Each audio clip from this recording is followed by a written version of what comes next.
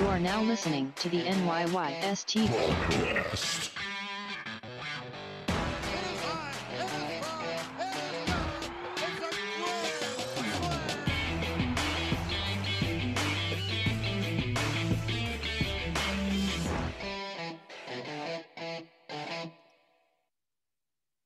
Welcome back. This is episode 223 of the NYYST podcast. I am your host, Christian. As always, joined by my co host, Chris. Yo. And go Yank. When we said we were going to give 120% this season, Ryan thought we meant what he had planned. So he's going Yep. all, he's going all at it today. Yeah, you know, normally, like you would think that, like on Easter Sunday, you might want to not do that like all day. That's see we grew up like in a not too religious. We went to CCD but we didn't really pay attention. So I see where he might have gotten confused on what you're supposed to do to celebrate Easter. okay. And that's really what it comes down to. How was your Easter? Uh, I don't know. Your daughter's first Easter. Yeah, it was. Uh, According- she was much. According to my mom, it was um, my daughter's first Easter also. Uh, she got her an Easter basket that said uh, Callie's first Easter, and uh, it's not. So that was cool. Sorry to cut you off. Oh. At least your mom remembered.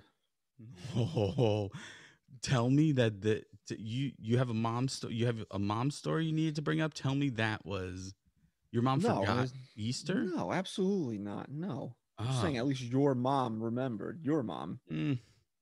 She not sent it. Ryan's. she sent it early in the mail. So it's like Not- maybe she didn't remember. Not not Ryan's mom, just your mom. Right. Right. So many people are probably confused by the whole thing, but It's the it's the hypothetical mom. Hmm.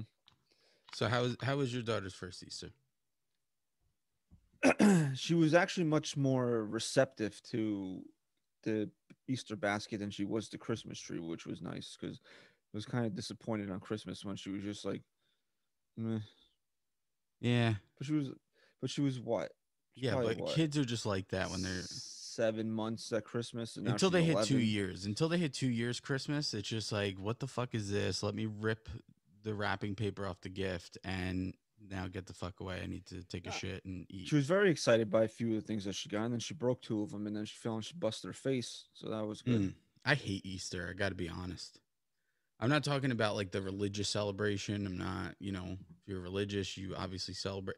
But like I get I get Christmas. I get where we get to the point of like gifts. It's Jesus' birthday, right? I get all that. I don't understand where how the fuck we got to a humanized Easter bunny breaking into your fucking house and planting eggs filled with candy and whatever else for kids to find. Where the fuck do we get this stuff from? Where did that come from? I don't know. There are wanna take the religi- time to Google? No, no, no. I don't I don't need to get into it if you don't know it, but that's my problem with Easter. That's my biggest problem with Easter and and I fucking hate it. I hate carrots, I hate rabbits. Um and I hate I hate everything about it, really. I hate that it's on a Sunday. We don't even get a day off. We get a day off from work. Hmm. Interesting that we said that Jacoby Ellsbury put a curse on this team a couple episodes ago. Mm-hmm. People tweeting about Jacoby Ellsbury putting a curse on We team. have, even if it's just Hmm. one prominent person in the media, even if it's just one prominent person in the media, we have one person that take that listens to this show and drives the narrative home mainstream because it's too coincidental. It's too coincidental. And and I fully believe that from the episode when you talked about this is what got me to it went from like a stupid conspiracy theory to I actually might believe it a little was the episode you compared uh who'd you compare? You compared a Yankee player to someone and I just thought it was out of fucking nowhere. I was don't like, even remember. I don't even remember what it is now at this like point. to me, I was like, "What is he on fucking drugs tonight?" And then all of a sudden, the next day, everyone's talking about it. It was, it was crazy. I know what you're talking about. I just don't remember what. Unless exactly you're stealing narratives from places and Yeah, not being honest. I don't have. T- I don't have time for that. Mm. so yeah i mean let's uh it's gonna be funny you know if we do decide at the end of this that this is it you know where's everybody gonna get their material from that's what i want to know Yeah, we'll see. The narrative, the narrative uh, around Yankee Twitter is going to be pretty bland. I'd say. it's like it's like we do a whole episode on aaron judge's legacy and then all of a sudden you hear that like oh It's on uh, every show. it's, every, it's everywhere now Yeah. i'm just saying you know Yeah, we're just saying. Uh, anyway, so yeah, Easter. Uh, I actually went by my my mom's today and sh- sitting down eating, and she's like, You have agita? You keep doing that. Goes, "You're gonna quit your podcast?" And I'm like, "Yep."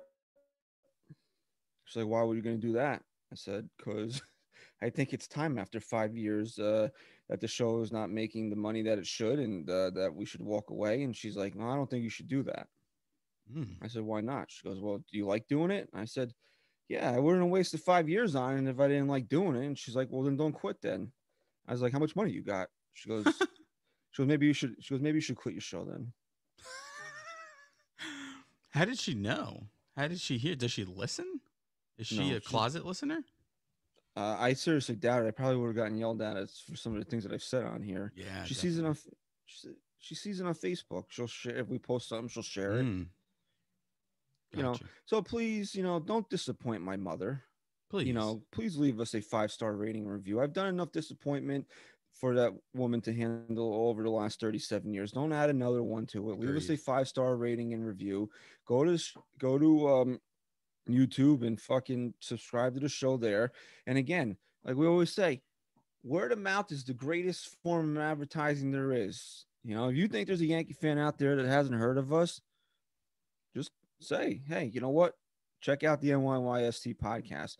Hey, when we post a link on Monday morning, hit retweet. These are all the simplest and easiest ways to continue to support the show. And you know what? We definitely appreciate it. So we made a boo boo, by the way, and, and we noticed it. We noticed it mid show that we What was that? announced we announced the serious news of that on April Fool's Day, and people are still tweeting us a week later saying they're waiting for us to well not a week, I guess that was a midweek pod, but that they're waiting us for for us to say that it was an April Fool's joke. It is not. yeah, but I said that at the end of the show. Yeah, but they're still waiting because they know how fucked up we are. That's what I said No, back to someone. not. People know how fucked up we are that we would drag this out until November. No, Well, it's if we do decide to continue the show, it wouldn't have been a long April Fool's joke. It was just that what we were looking to have happen had we hit happened. goals. We hit goals. Boom. Done. So there, we we're going to continue to work at this and uh, see where we're at come November, and uh, away we go. So we'll just say that there are going to be two shows going forward on the on the you know on the main feed. Um, we're going to record Thursday night for Friday morning. I have something in the works. Is hopefully I'll have a nice guest lined up. I don't want to say who or what yet in case it falls through, because then I, I hate not coming through on something. But Mm. Uh, I do have something in the works. Hopefully that uh, he'll stick to his word and, and hop on. And if not, then we'll still be back here because we'll have another series to talk about. Um, it, the opening series did not go well for the Yankees. They lost today. They lost three to one after winning five to three on Saturday. So they dropped two or three to the Blue Jays. Uh, I don't know where you want to get started on this. It hasn't been pretty. The offense has looked anemic. Uh, but I'm not surprised. Like, I think we, I think if you're a rational Yankee fan, and again, we spent so much time in last episode tearing down the fans, and you know, I'm not going to spend too much time on it. There are things that are going to come up, and we're going to, you know, you know, if you get offended by it, then stop doing it. That's all I can really say. But uh, if you are a rational fan, I don't think that you're really that surprised that they didn't hit. This series. I don't care. Ryu, we talked about it. We don't see Ryu as an ace, but he's a really good pitcher. He is. He's he's legit, solid, top of the rotation type of guy. You know, the Yankees scored what did they score? Two runs that game. They had way more opportunities than only you know they scored five runs on Saturday. They had way more opportunities than that. I didn't. I wasn't fully invested into the game today because we're recording Sunday night. It's yeah, it was tough to get into it. you know, it's Easter, you're with family. I had the game on. They had opportunities to score. They scored one run. I honestly, I didn't. I don't even know how they scored. Gardy had a run- runner on third, uh, and he he uh, turned the ball over to second base, got the runner in. Oh, so that's called situational hitting. Something It, it's called it's called why Gardy's on this team. Really, is what it's called. Um, Frazier had a really good game. Uh, well, at least in that in that at bat, he stretched a single into a double. Uh, got over to third, and he really, I mean, he manufactured that run. And uh, Gardy, you know, put the bow on it by pulling the ball and doing what he had to do. Uh, the the Jays pitcher today, T.J. Zeuch, I think is how you say his name. Uh, he sounds like a effect from the 1966 Batman series. Zoik. Uh, he's somebody that the the Jays think highly of. It looked like his stuff was pretty good. So I mean, you know, uh, and their bullpen man right now, it seems like they got a couple of guys in there that are throwing gas. The guy that closed the game today, he's hitting spots at 99. He's going to be, you know, he's going to be tough. I can't remember what his name is. Um, but yeah, so the offense really, outside of what do you want to say? Gary Sanchez, he didn't do anything today, but he had a couple, you know, he's got two home runs already. Uh, DJ had uh, a two hit game on on Saturday. Judge had a two hit game Saturday. Nobody's really doing anything. So, I mean, are we are we here going to overreact now and say that the the offense is just going to be flat all year? No, I mean the Yankees are notoriously slow starters offensively. I actually don't think they were a couple years ago, um, but the year before that, cer- they certainly were. Um, we can just refer back to how slow they were when it was. I believe it was like mid-April, maybe or end of April, that Marlins series when it was just like Jesus Christ, when are they going to start winning? And a lot of it has to do with going from the Florida weather back up here. That's not an excuse. I think what I've seen more than anything else was, uh, and we talked about this. It's, t- I mean, these guys are going from spring training where we talked about this. Pitchers aren't f- fully amped up. They're not giving you everything. It's it's been an adjusted uh, spring training where you know innings don't have to last full innings or guys are being pulled out.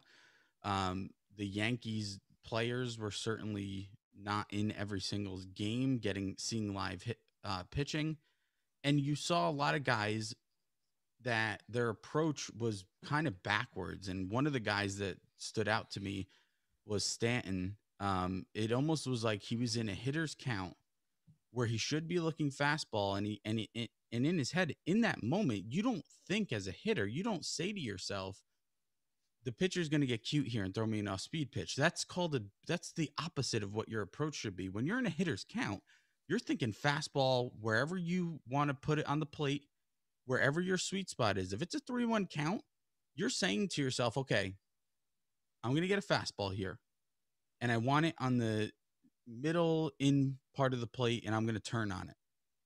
And if you're and if the pitcher gets to the point where you're seeing the the laces come and it's a curveball, I don't care where it is, you're not swinging because that's not your approach. Your approach was I'm going into this looking for a fastball.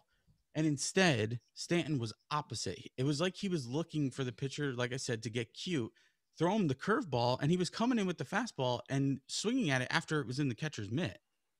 And that's kind of that was kind of where the Yankees just kind of look lost to me. But I mean, we can sit here and talk about these games and how they lost two out of three. Man, I could pull. I, I'd rather focus on the positive shit, to be honest, because there's a lot to, a lot of positive to take out of this series too. Uh, just looking at some averages real quick. Uh, Frazier's hitting 444 through the first three games of the year. Uh, DJ and Sanchez are hitting 273, and everybody else is kind of like down down the list a little bit. The one guy that really sticks out to me here is um, Hicks is batting 083. Uh, and something that Aaron Boone said in the post game was very interesting. And as much and look, I say it all the time. You guys know, you loyal listeners to the show know that I don't like Aaron Hicks. I it's not that I think he's a bad guy. Like I, you know, people think, oh, you know, like he doesn't like Hicks. What did, Hicks didn't do anything to me. He just sucks at baseball. Oh, you guys aren't you guys weren't pals and uh he stabbed No, you in the back or I- something? Remember when I taunted him at in Scranton, Did you? Whatever whatever year that was? He was in Scranton? Remember- Yeah, when we went to that game, he was rehabbing. oh yeah. Yeah. We remember when we met Nick Rumbelow's stalker. Oh my god. Hey buddy. Yeah, you see that guy down there? We're like brothers. Oh yeah? You guys grew up together? No, he signed an autograph for me once. No, man, I work at the Burger King. Okay. Uh security? The guy was literally like, "No, I work at the Burger King," and he came in there once and said hello. And I was like, okay. "All right, next." Can I have some of the drugs? He's like, "I love you, Nick," and we're like, Dude, uh, "Okay." Rumble bro. It's like of all the baseball players you're gonna fall for, it's Nick Rumble. The best Oh, is when- rum, weren't oh, Rumble, bro. we were Rumble, telling- bro. we were telling uh, Ben Heller to go fuck himself pretty much. And then uh, six weeks later, he was doing our show. And we were like, this guy has no idea it was us. Well, we have a we have a history of that. You started shit with Lance McCullers Jr. and then he came on the show, That's and true. then I always forget he was on the show. and then if uh, we get this guest on uh on Thursday, if he holds his word, it's uh, it will all come back because I fucking was talking shit to him on Twitter. Yeah. So maybe we should just stop being nice to everybody. We want people on the show. We just fucking start cursing them out on social Yeah, media. I agree. But uh, oh yeah, back to Hicks here. Look, I'm I've been an advocate of Hicks hitting nine. So if you hear this is going to be a narrative now going around uh, Twitter and uh, maybe some some beat writers because Hicks is hitting 083 and he's looked really lost at the plate. Mm. Uh, that he should be dropped in a lineup. I've been saying that since February, by the way. Thank Yeah. you. I'm an advocate Uh, for it too. I love what Aaron Boone said today because somebody asked him, he was like, Are you thinking about dropping Hicks out of the third spot? And he says, Not after three games. I think Aaron Hicks will be fine. It's only been three games. I forget the exact quote. That was the the pretty much the crux of what he had he said. He basically said it's three games. Like I'm not gonna overreact to three games. Which yeah, look, as much as I don't want Hicks hitting third, I also don't want my manager making overreactions to the lineup after three games. Yeah, I mean, I respect that answer. I think, I think it that shows how level-headed Boone is, and uh, you can't overreact. If you're gonna over, if you're gonna do that, especially in baseball, you're you're not gonna last long, man. You're gonna be switching this lineup up every five five days. You know how streaky baseball is. Right, and Hicks is Hicks. As much as I don't really care for him, he is a kind of a streaky guy. Where if he gets that left-handed stroke down, man, he can, you know, he can hit a few home runs in a week. Yeah, Problem, wa- it just, I just, I don't know what it is about him. It's just you know what it is? I think- frustrates me about I was him so talking- much. I was talking to a couple other uh, friends about this because they didn't. They actually don't care for uh, Hicks either, and I think I hit it on- uh, hit, hit it on the head with this. I feel like Hicks just isn't there, if that makes sense. Like he's had some big moments, yes, more defensively really than offensively in recent years. Like that play he made in the outfield a couple seasons ago in Minnesota, yeah. was fucking that sticks out in my head. But yeah, but I'm pretty sure he also had a couple big, at least a one big home run. in No, game, I'm not tied or Yeah, and I'm not that same saying game. And I'm not saying that he hasn't had big moments offensively, but it's like I see a guy in Hicks who I'm never going to complain that the Yankees signed him to a long deal again because I think it was a steal. I think just defensively alone he's worth that contract. Eh, But for me, I feel like we're looking at a guy who has more in the tank that he doesn't give to us. I feel like there's more potential there, and it's like he's plateaued. And he's just gonna, he's a guy that he could be with this team for 10 years and 10 years later we could be like, "Oh yeah, Hicks played for the Yankees, right?" And it's like I don't want a guy that's going to be here that long who's going to be hitting third by the way, being a guy that's just forgettable. He's a forgettable player. And I think that's why I just can't take to the guy. He's got to he's got to make his mark. Let me ask you this. Outside of maybe one or two times, can you even think of like a a strong hitting like a when he got really hot? I mean, for more than just a few games. Has there ever been a time where like he's been even close to being like player of the month for them?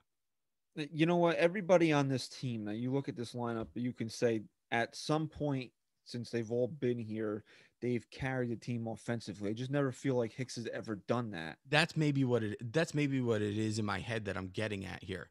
It's just like he's never been the guy. Everyone has their moment of being the guy for a, a certain amount of time, and he's just, has he been the guy in certain moments? Sure, every player is going to have that, but he's just never been that fucking guy. It's almost like, and I guess it's worse because he hits third because we're looking at a guy who's supposed to be a, a much better player offensively than than he is, given where they're putting him in this in this lineup. Right. So bat him ninth. That's the spot for Aaron Hicks. If Hicks was a nine hitter, I wouldn't even I wouldn't even be discussing this. I wouldn't. So, uh, so I did. I really like Boone's answer there. Uh, right, because I, you know what, I just, you know what, I always say this. It's like in the in the Dark Knight, the Joker said this city needs a better class of criminal, and even though it might not be a full representation of the fan base, the fan base that is on social media, I need a better class of fan. Like you guys are telling me, oh, I'm a diehard Yankee fan. I've got Don Mattingly's fucking batting glove from when I was a kid. My dad used to go to dinner with Elston Howard. Uh, you know, fucking whatever. Like I, my grandpa used to fucking uh, be Babe Ruth's hot dog runner. Cool, but like, if you are telling me all this stuff, then it's like you have to know that after three games, you can't make any grand proclamations about this team because look, the Orioles demolished the Red Sox this weekend. The, they kicked their ass. They swept them, and Baltimore's coming into the stadium starting on Monday. We'll get into that a little bit later on in the show.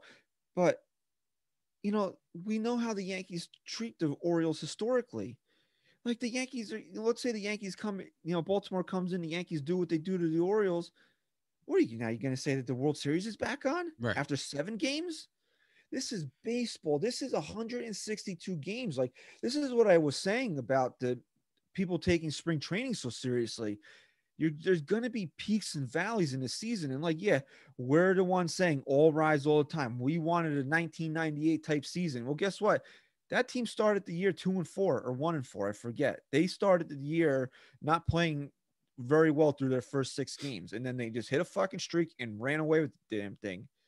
So, you know, we could still be at that point. So until and even, you know, you really don't even start really worrying about your team until Memorial Day. Like you t- take it by the summer holidays. Here's Memorial when you worry. Day, Fourth of July. Then you look at where you are around Labor Day, and then you see where you're. You know, I just I just can't get that worked up. No matter how anemic the offense looked through the first three games, I just can't get that worked up over it. Here's here's when you worry. I think Memorial Day is just a perfect marker of evaluating the identity of this team. Right? When you sit at Memorial Day, we're not saying if they're under 500 that they're not going to make the postseason. It's I mean, it's not a good place to be, but you got to look at the identity of the team at that point. That's when you can start picking picking out certain things and who are the New York Yankees. And from there, if it's something good, if they're showing a dom- dominance throughout the league, they're a dominant power powerhouse. They're they're favored to win the World Series. This is who we are this year. It's Memorial Day. They're fucking showing up, and then they lose that identity from there on out. That's a problem. But right now, we can't do that. It's only been three games. I feel like last year, and I guess it was a shortened season, but the team never had that identity. They never knew who they were. They were they would go on hot streaks and then they would friggin' lose eight games. And that's the kind of shit that you don't want. You can't do that of- over such a small sample size. So the 1998 Yankees started the year one and four, and then they went 14 and one in their next 15 games. Yeah. So like that's why you just can't I'm not saying you and I'm not sitting here saying you can't be annoyed with the series. It was frustrating. It fucking, you know, yeah, after of course opening day is opening day. You're waiting for baseball for so long. You got Gerrit Cole on the mound. And you're excited no matter what. But like I'm not sitting here and saying after this series you should be uh happy with what you saw. But like I said before, there's a lot of positives to take out of this out of this series as well. I think I think a lot of the the uh areas of this team that we had question marks on uh really made you feel a lot better. Again, you can't sit here and say those question marks are answered. It's too early for that. But you like the direction in which the answer's going in a lot of these places. All I'm just gonna say is that you waited all this while for baseball. You waited all this while for it, and after three games, like you just want to. I just don't get that mentality. I, I just Yeah, don't. and you know what? People are gonna have it. I and you that is it is what it is. We're not sitting here fucking. I'm not necessarily ripping you. I'm just saying I'm trying to help you not be fucking like throwing the season away. That's all. It's three games. Yeah. Did you want to fucking win all three? Of course. Two out of three. And nobody, Fuck yeah. no, nobody wanted to start the season one and two. Like no, but this is also not some patty cake team that they're playing. We all know that the that the Blue Jays are on the up. You know, they're on the, the come up here. They're a good team, even without maybe they might be missing their closer and they might be down a couple starters. Springer was on the IL, but still, look at this lineup. And the, uh, obviously, they got some hidden gems in that bullpen because I didn't think that they had the Yeah. the type of arms out there that they did. So you got to tip your cap to the team you're playing too. But again, like we could be sitting here in in a month and the Yankees rip off one of these fucking ridiculous 15 and 2 runs. You're not even thinking about this opening series. And and again, and I saw somebody tweet this the other day. Stop saying that this doesn't matter. All the games in April count as much as the games in September. And theoretically, yes, you're right. Every game has the same amount of weight throughout the 162 game schedule. Games in September aren't weighted more than they are in April. But when you have 159 more games to play versus when you might have 13 more games to play, the reaction of the fan base should be way different. If the Yankees are struggling in September and don't have a postseason spot locked up, then yeah, I can understand getting frustrated and angry. because of what's ahead. If you have, if you, okay, let me think of a good analogy. If you were going through uh, a hundred, a stack of a hundred scratch offs that you spent a shit ton of money on, and you got through three of them and you didn't win any money, are you throwing away the fucking 97 that you have left? No, Because because, the I'm first really three- optim- I'm optimistic I'm going to hit Right. something in the And then when you get to the when you get to the 97th and you haven't won anything, now I'm pissed. now you're fucking t- now Because you're fucking giving the other ones away and you t- and you fucking flip out Right, right. Because you're like, I just wasted all my time on this shit. It's that was a pretty games. good like, analogy i think I, give you a B plus for that one. seven out of ten Uh, seven and a half. mm, that's your good one Uh, yeah. review. So like, I get it. Like, I have people that want to make the point that the season, every game counts the same. Correct. You're absolutely right.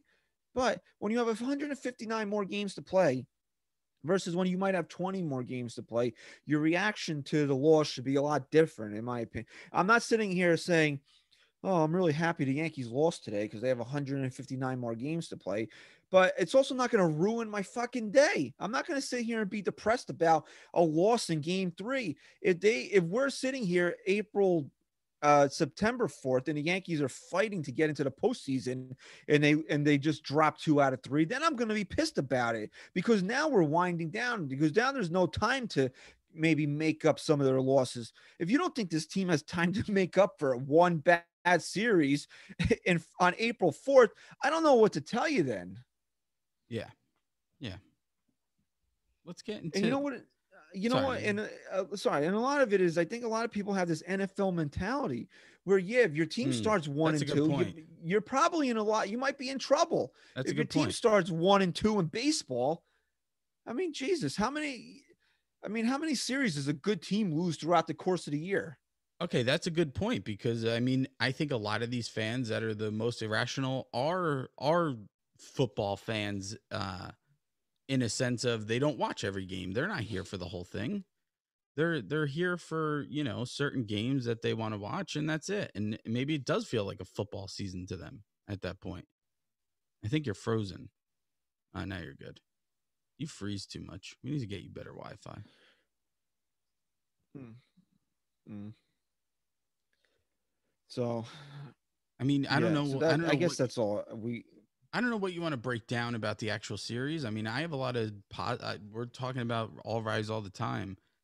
I have a lot of positives to take out of this fucking series, man. I do. I was actually came out of the series. I, I'm not even upset one bit. I'm actually I'm actually excited. Well, no, dude, there's there is there's something I do want to talk about. Somebody that wasn't in the lineup today, uh, Giancarlo Stanton. Uh, you know, every anytime that you see the lineup posted and either him or Judge is not in the lineup, uh, automatically uh, your mind goes to the worst possible scenario. Mhm. Are, are you alive? Yeah. Okay, I'm just checking in. Your computer is very delayed and now you're freezing. All right. I think we got our technical difficulties figured out. Talking about So- Stanton being out of the lineup. Right. So anytime that you see Giancarlo Stanton or Aaron Judge's name not in the lineup, your name, uh, your name, your mind automatically goes to the worst possible scenario. What's wrong with these guys? And hey, you know what? It's warranted after the uh, the way that these guys have not been on the field the last couple of seasons. And I think it was Jack Curry on the post on the pregame today said out of a possible a hundred no, it's 222 games, right? 162 and 60 is 222. Out of 222 possible games in 2019 and 2020, you want to guess how many stands played in? Not in counting the postseason.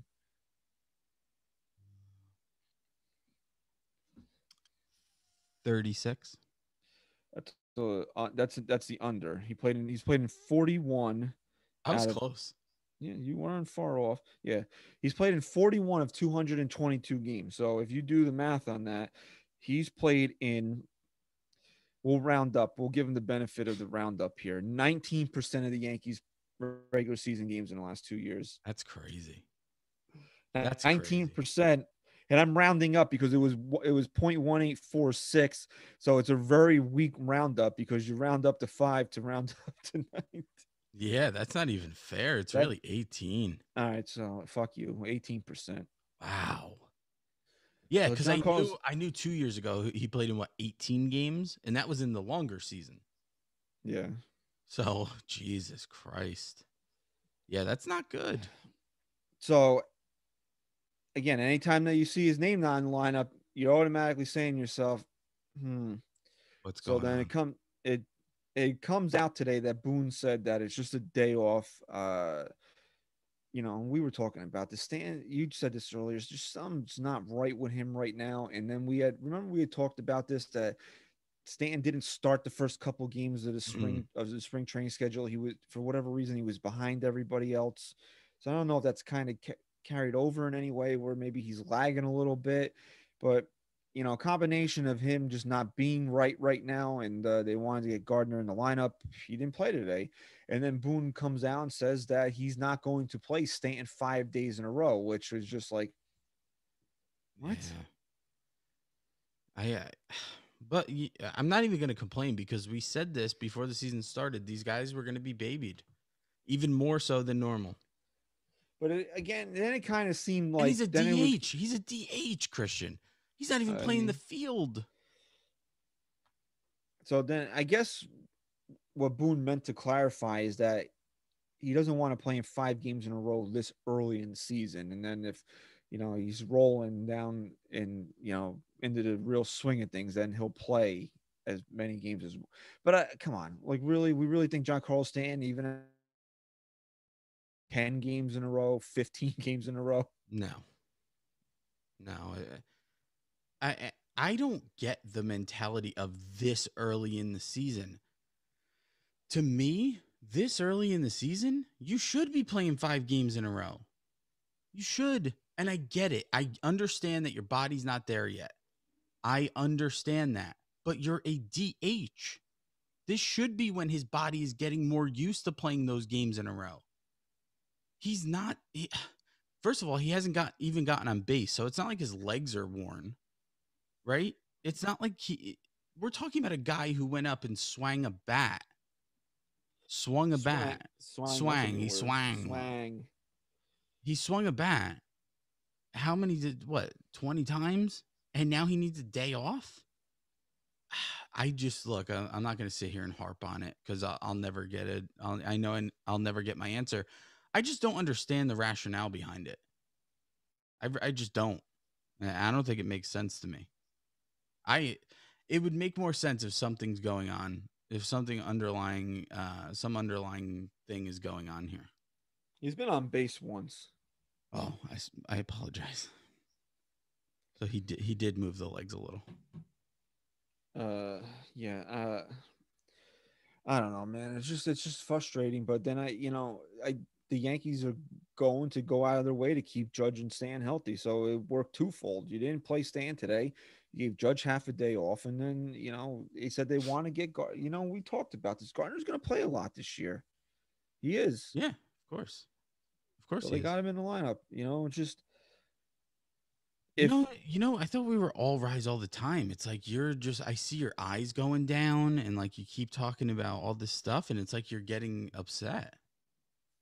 I don't want to see you get upset. I need you- I need you to keep the energy or else I'm going to go I'm going to spiral out of control. Look, man, right now, you know, I, it's it's a season long thing. So right now we're we're in a little we're in a little dip right now. The Yankees need to come out and they need to do what they do to the Orioles. So, you know, that's that's going to that's going to cure a lot of the ails right now. It is. They just need to get going, man, and uh Montgomery, you know, we'll talk let's let's worry about the Orioles uh, towards the end of the show here. Uh, we do have a couple other things that we should get to here. Um, the fuck is this? Yeah, so you know, we'll move on here. Kluber started uh Saturday's game. Corey Kluber, who I mean, that guy must be real fun at parties. why? You referring to his interviews? He's the most stoic person I've ever seen in my entire life. Like I literally seen stone statues emit more emotion than Corey Kluber has. Yeah, there's a few Yankees that I can uh I can say that about. So Kluber's uh, line from Saturday, he pitched four innings, two runs, one earned, uh, three walks, and five strikeouts. Uh, you know, the thing that people were saying about him throughout the preseason kind of held. His control wasn't all the way there, but some of his stuff is just it's so good. For me, if I'm going to evaluate Corey Kluber after his first start as a Yankee, I'm not looking at how long he's going to go.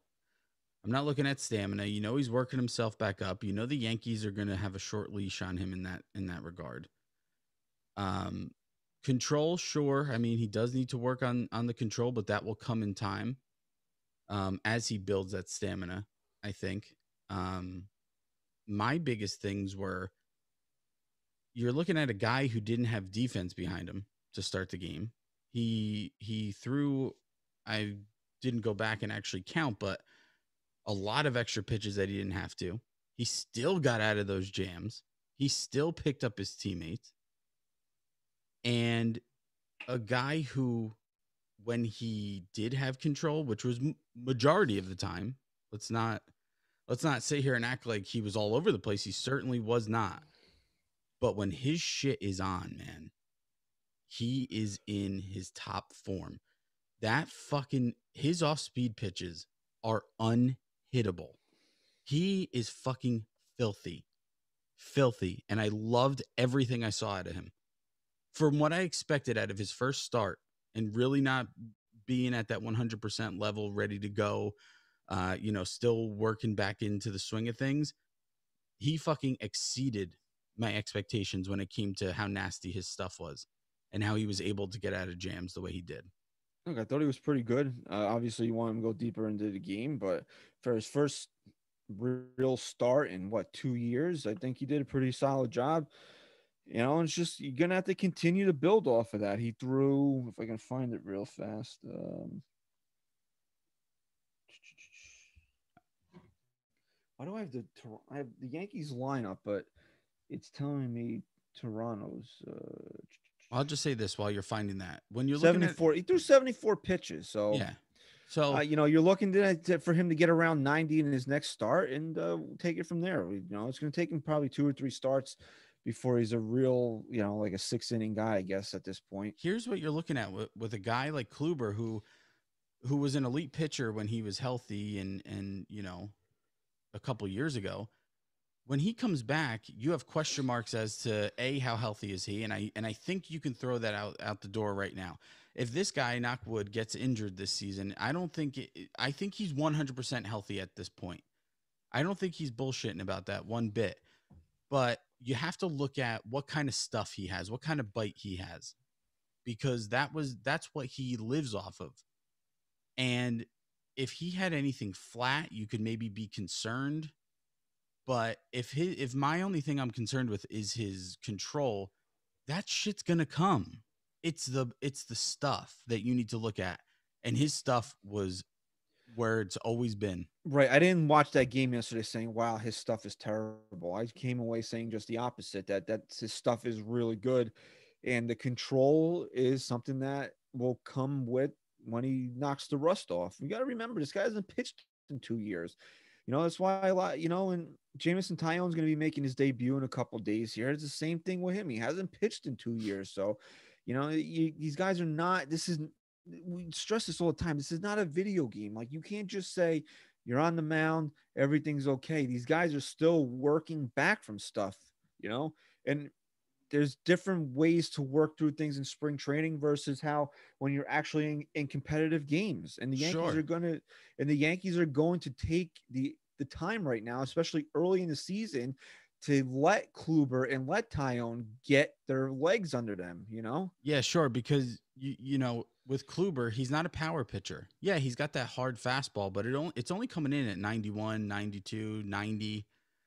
And so he's not going to get he's not going to get that by guys unless his unless his junk is there. Unless his off-speed pitches are there. So that's where you're seeing the the issue with control sometimes. He knows he can't he can't just groove one down the plate. He's got to he's got to for him to be effective, he has to start that off speed pitch at a certain spot and let it drop off. He knows he can't put it, he knows his mistakes have to be out of the zone. That's where he's such a smart pitcher. And that's where to us, to the to the fan who's watching, is saying he has control issues. When in reality, it's this is a smart pitcher who's in a competitive game now and knows he can't just he can't make a mistake over the plate. So if he's going to make a mistake, it's going to be something that's low outside off the plate that can't be touched. And that's why he didn't get beat. That's why he did not get beat, even though Right, he, he didn't have could- the zone as much as he wanted to. The if you're us and you can remember back to the, the dynasty years, El Duque would pick nine or ten times in a game where he didn't want to fucking pitch to somebody. Yeah, because you know, there's mm. two ways to look at the guy doesn't have control. We always think of it as he's wild and all over the plate, but guess what? You know who else didn't have control? Domingo Germán. But it was a little different. It was he didn't have control of where he wanted to spot the ball. So instead of missing and walking guys, he grooved them down the plate all day for his three innings. So would you rather Kluber right now be uh, lacking control, but missing where he can't get beat, and then sh- and then prove he's still fucking effective enough to get out of the inning? Or would you have him rather just groove that changeup or whatever the fuck that nasty pitch is, I think they call it a slider. just right over the plate? Uh, you choose. No, I think if anything, I think you should be really encouraged by Kluber's first start this year. Think hundred if you- percent. I think if you have any other feeling towards him, then you just weren't watching the same game the rest of us were watching. I think you, Sure. it's a really encouraging first start from him. Uh, and then really, uh, dude, I got to give the guys fucking credit. Uh, Jonathan Loaisiga was outstanding Saturday. Outstanding. Outstanding. Uh, what he two scoreless innings. He struck out three guys. And it's not that I don't like Jonathan Loaisiga because I tweeted this yesterday. I, I think he's got some of the best pure stuff on the Mhm. team. He does. I just don't trust him in big spots. Yeah, but you know what? The Yankees didn't trust him for a while and they told us that and he was kind of forced into this thing and he and he took the ball in some big spots that he really shouldn't have been. But maybe all of that, you know, he got he we forget. What didn't he have Tommy John? Yes. Did he have two oh. Tommy John surgeries? He might have. I don't. For some reason, that sounds really familiar to me. Yeah. So we got to remember this is a kid who got thrown into the swing of things when he really wasn't probably wasn't ready and admittedly so from the Yankees, then gets hurt again, gets thrown back into some big spots and obviously wasn't all there. Maybe this is the year he puts it all together. We talk about that with guys like Gleyber Torres on the other side of the ball where he needs to show us now that he's a superstar this year. Well, maybe this is Jonathan Loaisiga, Jonathan Loaisiga's time too. We're not talking about some scrub the Yankees uh, got in free agency that's just here to eat up innings. We're talking about a guy the Yankees had were highly touted that he was highly touted in this organization. So All I'm saying is that he had Tommy John in 2016. so but he was hurt again after that. Yeah, he did have a significant injury where he, uh, maybe something with the shoulder. I want to say he had Yeah, something with the yeah. shoulder. Yep. So, you know, I think maybe what we're what we could see again. Um, if I'm go- I got to be consistent. If I'm going to tell people not to get crazy over, you know, two out of three losses, not going to go crazy over Jonathan Loaisiga and say he's going to be some fucking stud out of the bullpen just yet. But you like what you see. And the reason why you can be optimistic is because you know his stuff is there. And maybe this is what Jonathan Loaisiga looks like when he puts it all together. And if that's the case, this dude looked fucking dominant. Look, the Yankees. We've said this. The Yankees need. They would be great if two did, if they both did, but the Yankees really need and are looking for one of Nick Nelson and Jonathan Loaisiga to really step up and be a key contributor to the bullpen this year. Yeah, and I really, I mean, that was one of my positives I took out of the series. You didn't want it, the offense wasn't there, obviously, but if you're gonna walk away from this series and say I want to stay positive, look at the pitching.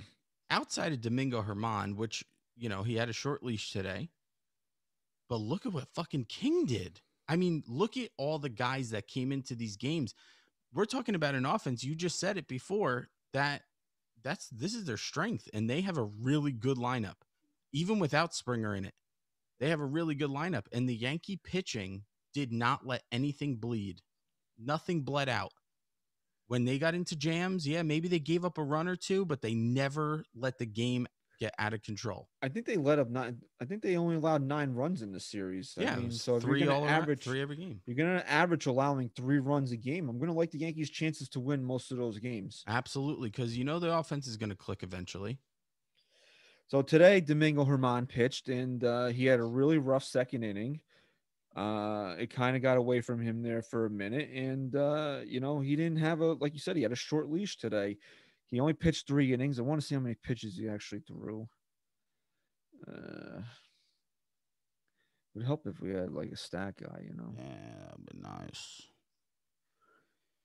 He threw 68 pitches, so he threw a lot of pitches in three innings. Yeah, that's a lot.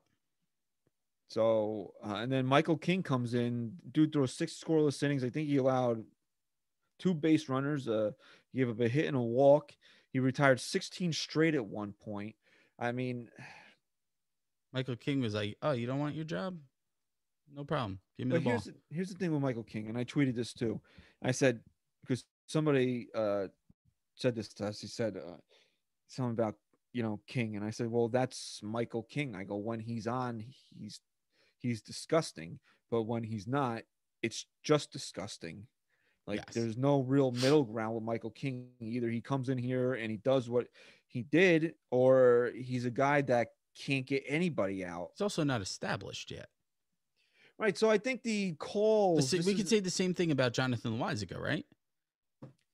right. I'm not ready to make him be. I'm not ready to, to proclaim him as a top setup guy right now, but Right. I think for what he did on Saturday, I think it was very impressive, and it's a good step in the right direction for what the Yankees are hoping from him. Uh, but and again, you know, we'll talk about overreactions, and then the fans today are like, "Well, King to the starting rotation." right. Right. All right, let's relax because uh, again, like, do you guys not watch the games? This is just what I don't understand. Like, do you not watch the games? Is every day that you do you have like, what's the thing? What's the guy from uh 50 First Dates, 10 Second Hi, Tom? I'm Tom. Do you have that problem, or do you go to bed? At, I'm Tom. or do you or do you go to bed at night and flash the thingy from Men in Black, and then like it's just like a new day, like you don't remember anything. Like do you, that's what I'm saying. Like, yeah, Michael King was really impressive today, and and and on a day where like I was really worried about burning out the bullpen, that he saved the bullpen. You know, because coming, you know, and they were talking about this on the game today, a little bit that I actually was really paying attention to, that the Yankees bullpen coming into the game today, you know, what did they I don't think they they allowed one run in like nine and third innings. And I'm saying to myself, well, that's not good.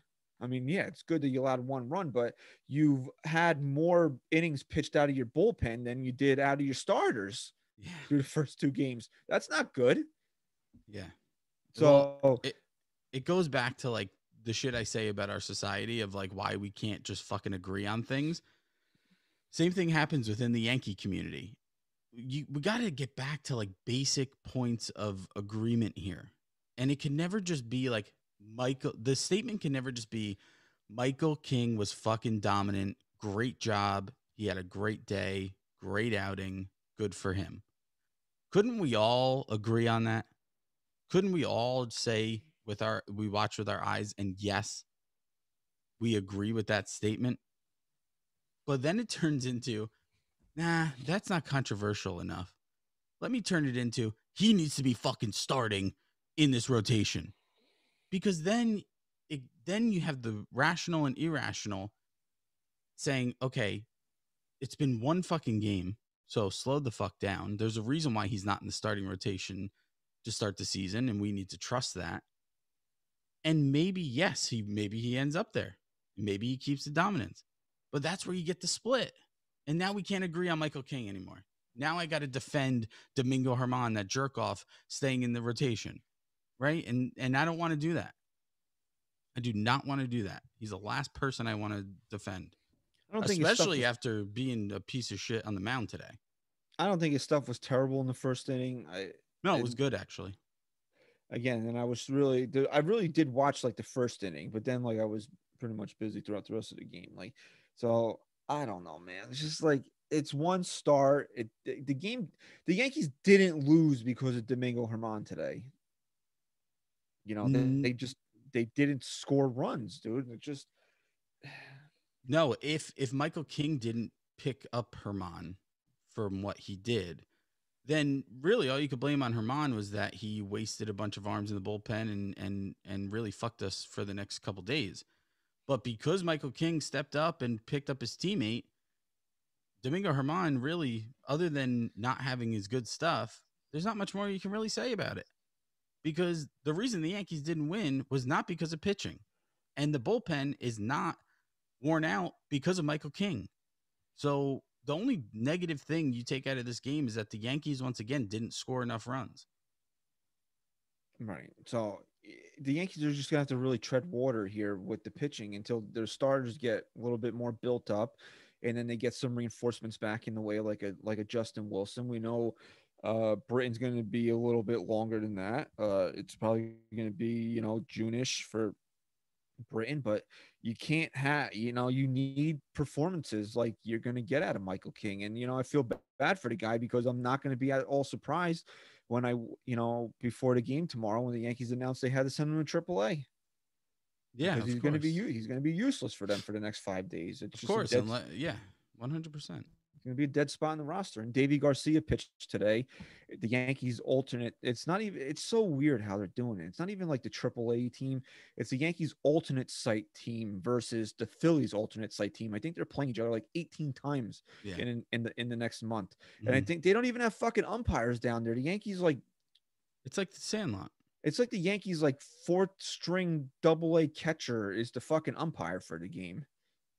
So Gary Sanchez. Right. And I saw somebody somebody tweet it's just so ridiculous like the way people act towards Gary Sanchez after the game yesterday on Saturday. Yeah, it's great he hit he hit two home runs, but how many singles does he have? Gary's not here to hit singles, dude. It's crazy. Well, I guess we can. Can we get to Gary now that I segued so beautifully into that? Uh, what do you want to talk about, Gary? Yeah, look, the two home runs are great. That's not even the surface of what I saw out of Gary Sanchez, of what I'm taking away from what I'm seeing out of Gary Sanchez. The first thing is just his overall confidence on the field. He looks like a completely different player. He looks like a leader as a catcher. He looked great just overall mentally. He seemed to be a lot more in tune with the game. At the plate, yes, the home runs were fucking awesome. I went crazy. I screamed. I made my one year old daughter cry because I startled her. Um, but just his approach in general. We've seen Gary hit bombs with a terrible approach. He just has even has a much better approach, but over everything else, I loved how Gary Sanchez looked behind the plate. I All right, think so explain this. Explain this to the the, view, the listening audience here Okay. because I I actually took my kid to the zoo on Saturday and I was gonna come home. I DVR'd the game and then like a dumbass, I always do this. I went on. I opened up the MLB app thinking it was my calendar for whatever fucking reason because I was trying to figure something out Ah, and I saw the score, so I ended up skipping ahead a few innings. I only missed like two innings, but in that time span is when the Blue Jays scored a run, and I saw that it scored on an, on an E two. Now you're going to tell me that it had nothing to do with Gary Sanchez. Uh yeah. Okay, so here's what I'll explain again. Take me for what whatever the fuck you want to take me as. I played baseball through college. I know a little bit about what I'm talking about with certain things. When a catcher that has the arm of Gary Sanchez is throwing that ball down to second with a runner on third, that's something that is pre-planned. Okay, not every catcher is throwing that ball down to second base. There's certain signs that are being given to the fielders on if that runner takes off from first to go to second because they have to be prepared if he's either going to fake it down to second and maybe you know snap it down to third to try and get that runner at third uh you know to to make a move thinking he's throwing it down to second and then you get him at third or you're giving your fielders a sign that says Gleyber you need to get over I'm throwing this through and we're going to try and get him out when he tries to steal so in that situation, when you're Gary Sanchez, most of the time you're throwing it through down to second base because your arm is so strong. If as long as Gleyber keeps that ball in front of him, that run's not scoring. He's not even thinking about scoring. So, and and the last point before I get to the finale of this is Gary's job at that point because there's a runner on third is to not fly the ball up over Gleyber's head into the outfield. He needs to give him even if it's a bad throw it needs to be a throw that's low that Gleyber has a chance to keep in keep it in front of him. What Gleyber did on that throw it wasn't a good throw but it was it was enough. Gary did it perfectly where Gleyber could have kept it in front of him and Gleyber should have known in his head there's a runner on third if this throw is anywhere off right from my glove i need to make the priority of the ball and he didn't he made the priority the runner going to second base, and the ball skipped through into the outfield, and and the runner scored. So yes, it's an E two, but if Gleyber was prepared for all of that, which he should have been, that ball stays in the infield. The runner gets the second, and the other runner stays on third, and no run scores. Okay. Okay. What so else? I don't put any blame on on Gary on that whatsoever. You- I thought you had something. You had something else for Gary. You were gonna say? I was ju- just overall behind the plate. I think he had much quicker pop behind the plate when he was throwing the ball down, and his framing was really. I mean, he stole a couple strikes that even fooled me at the time, and then I looked back and it, they were a few inches off the plate, and he did he did such a good job framing. He used to over exaggerate the frame when he didn't have to. Yeah. He didn't do that this series, and I hope he keeps that up because he looked much much better behind the plate. So you brought up Gleyber Torres. Are we done with him at shortstop? No, no, but it again, you feel optimistic about certain guys like Michael King because he's answering some questions and they're those answers are trending in the right direction. The answers for Gleyber at shortstop for me, he was I mean, I held my breath. I said this to you, he's becoming my my new Andujar out there. Every time the ball was hit to him, I held my breath, and that's not a good sign. So do we find out if DJ LeMahieu can play shortstop? No, uh, no. Okay, I'm just one. I'm just checking because I think the one play today uh, that everybody was kind of upset with him over, the ball was hit in the hole and he, you know, he was deep and he backhanded it, and I don't think he, he didn't really look like he set himself, and it was a bad throw. Mm. It's not the easiest play in the world. A better shortstop makes the play, but again, after three games, like I'm not ready to try to reinvent the wheel here because Gleyber and say Gleyber Torres can't play shortstop. So now we got to figure out what the hell we're gonna do with him. No, look, Gleyber is here as your superstar. He's your future superstar. And you don't we said this, we baby him too much, man. This is it. You either you either fucking prove that you're the short you're the superstar that that everyone thinks you are or you don't. And for me, the the plays in the hole and throwing, you know, throwing the ball in the dirt and letting it get away, that's one thing. Those things are gonna again, just like pitchers are knocking off some rust, so is he. He you know, these are live balls coming at him. It's to take some time to get in his groove, and I, I think he can get there. Those don't bother me as much as the plays where Gary Sanchez threw it down and he didn't, he wasn't there mentally enough. They always say, like, before every pitch, you got to know what you're doing. Before every situation, you got to know what you're doing. When Gary gives you that sign that he's going to throw through if that runner steals, you need to be saying to yourself the entire time, the ball's the priority. And and for him, for him not to do that that scares me more than than him making a few errors it, because mentally it just showed me he wasn't fully there and you got to hope it doesn't turn into a mental thing like it like with Andujar when it's just like at a certain point he bobbles a, a gimme because he was just that much in his own head Yeah, well, like we said, we'll we'll have to see, man. It's three games. I'm you know, I just don't want to make any. And you know what? I don't have to worry about it because the Yankees aren't the fucking fans on Twitter. They're not going to do anything rash after three games, and they, nor should they. Everybody's just got to stay the course right now. You know, it's it's three games, three games. three and you got to hope the next three are better and then as those games as those games continue to pile up if they're not getting better then then we can sit down and say we have something to worry about But that comes at 30 games, 40 games. It doesn't Right. come after three. Right. Uh, and our we're winding down the show here. There's no social media aspect today, although we do have one thing that we will get to. Uh, because I didn't know what to ask. What are we gonna ask today? You know, and Nah, then people nah. like they suck. I hate this team.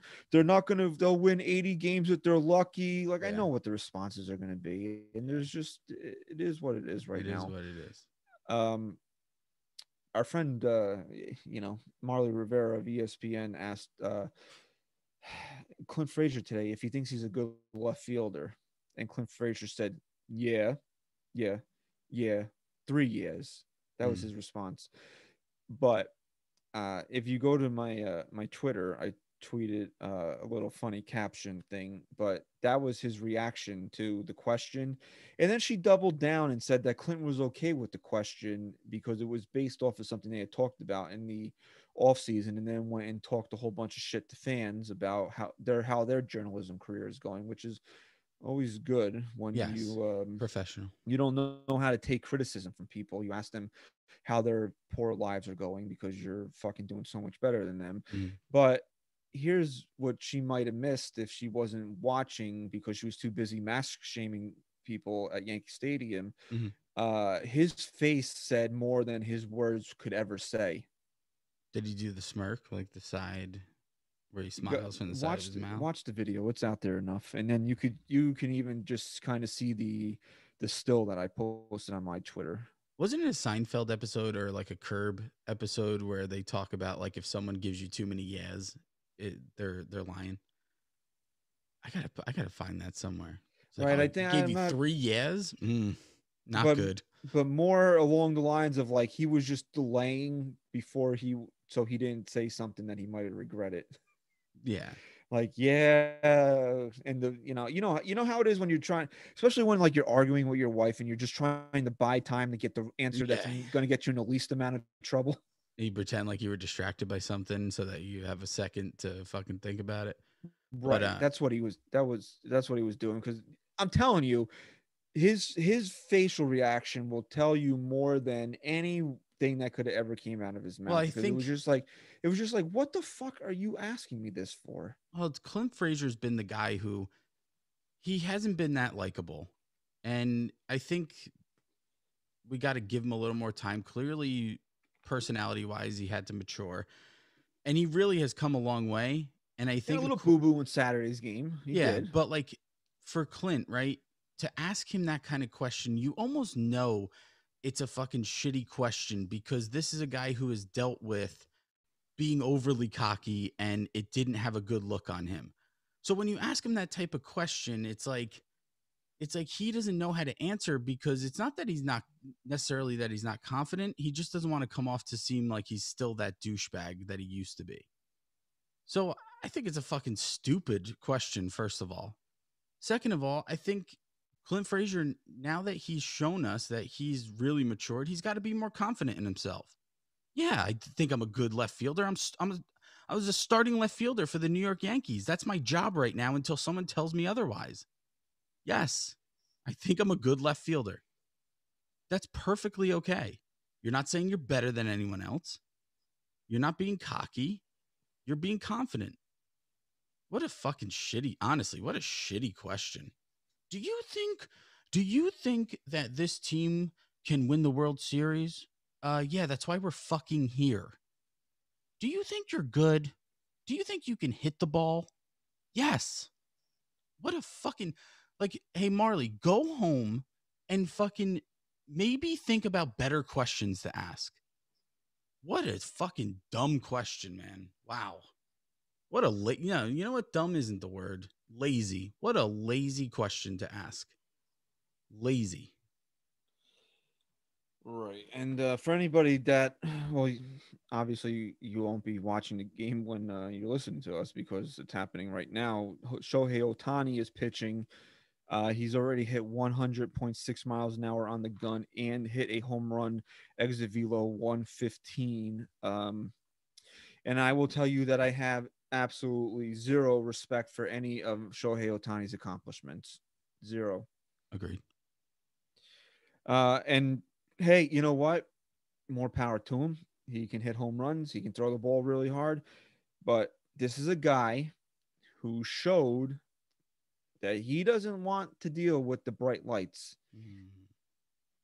So I'm sorry. If the guy had any balls, any testicular fortitude, he would have signed with the Yankees. And this is not the this is not sour grapes saying, "Oh, I'm mad because he didn't choose the Yankees." I could I couldn't care less. Honestly. Well, didn't he bail on the game he was supposed to pitch against Tanaka too?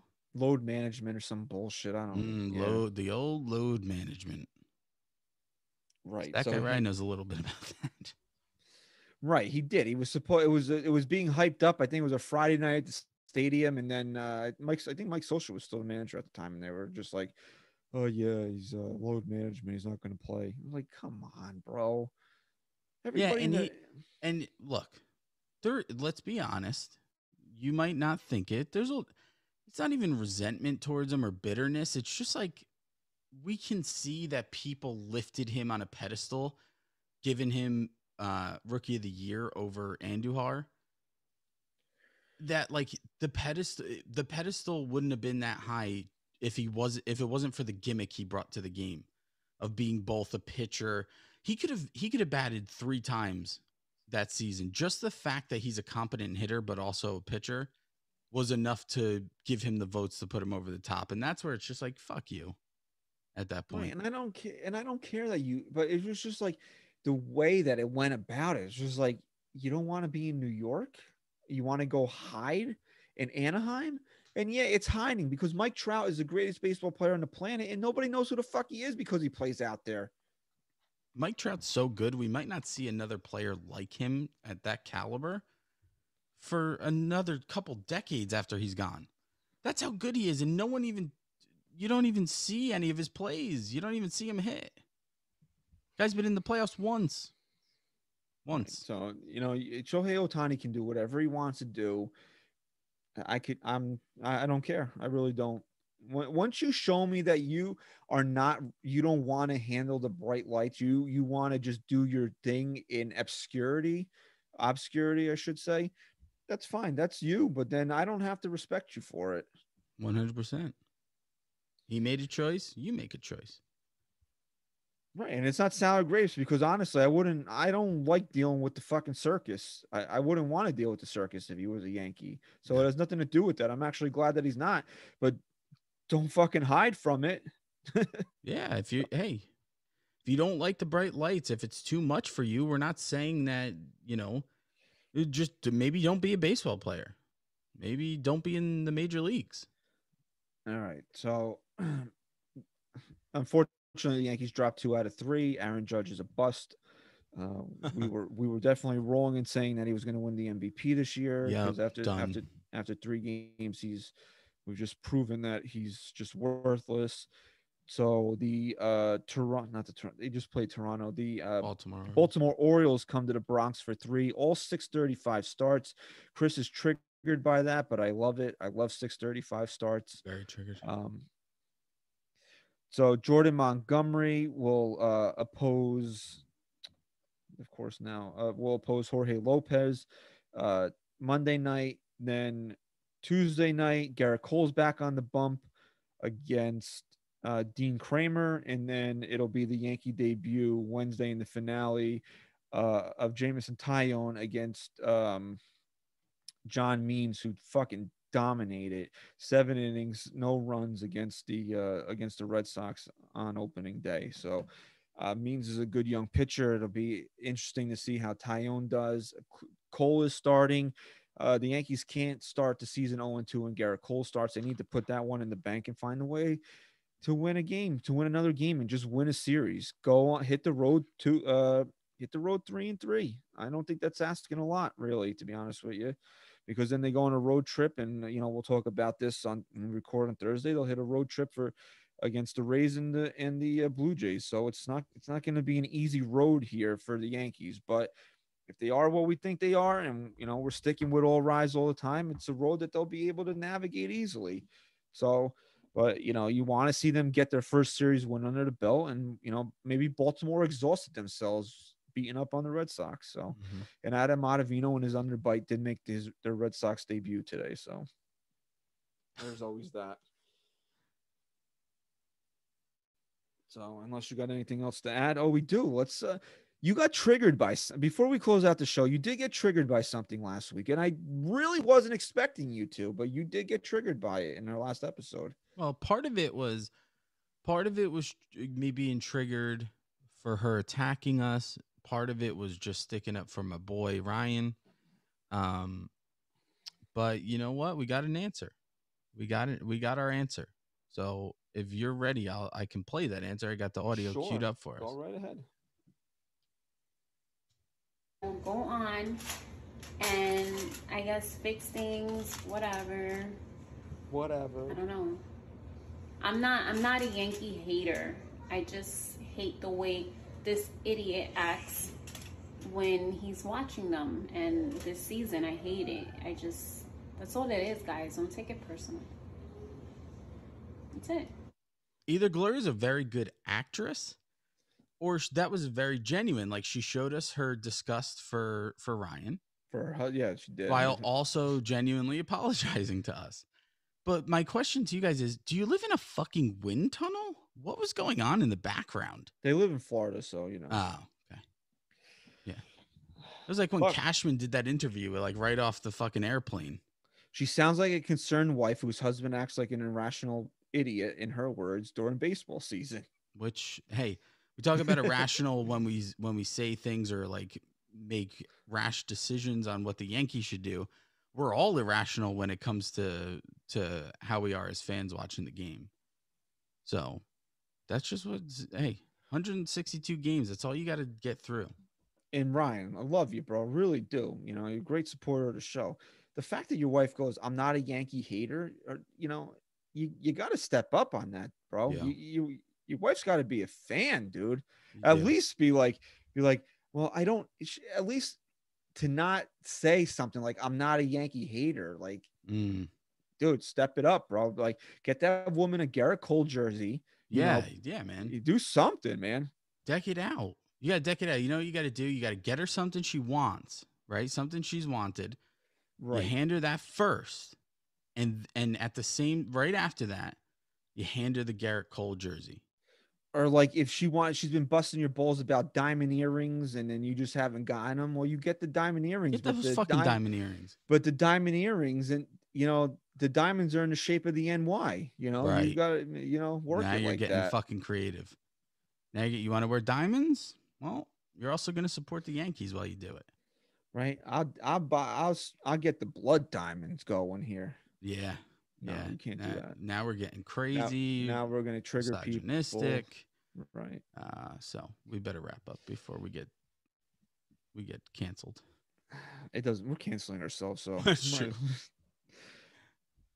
I gotta say one thing, man. Like, there's a lot of things that I would be able to put up with, and I have put up with in my marriage. Of, but like, my wife hated the Yankees, or even came out and told the world that she's not a Yankee hater. I I couldn't live with that. I'm sorry. That's like where I draw a line. Yeah. I I think that Gloria has a lot of resentment she's holding on to um with us. I think I think I don't think we're helping the you- situation at yeah, all. no, I think that we're we take him. I think his level of Yankee fandom was what she was okay with, and then we just brought it overboard. And I think that's where we are. And I think we need to make amends. I accept your apology, um, and and that's it. That's it from there. I think it was very genuine. Yeah, and she sounds like a concerned wife whose husband is bipolar, which we yes, all are. which yeah, we all which are. we all are. So. So uh, you know, Gloria, if we're causing trouble at home, I can't say that I'm sorry, but you know, try to try to be a little bit more, supportive of Ryan, and we'll talk him into being a little less bipolar during the baseball season. yes, agreed. That's it's called compromise. Right. There's a there's a way to meet in the middle there. All right, so uh, that that'll wrap up episode 223 of the NYYST podcast. Uh, please follow us on Twitter at NYY Sports Talk. Please go to the shop, NYYSportsTalk.com slash shop. Fellas 15 will save you 15% off and free shipping. Like we said, leave us a five star rating and review. Subscribe to the show on iTunes. Tell a friend. You know, reach when you see on Twitter, you see the the show See being something, posted say something. you know hit hit the retweet button. All great ways that you can uh, support the show and uh, we'll keep churning out the content for you as the season moves along. We'll be back friday morning. We're going to record thursday night. Whether it's just chris and i whether or not that guy rise empty the tank whether or not we have a guest all remains to be seen but there will be a new episode of the podcast on friday morning. So until then uh go yank chris say goodbye Peace.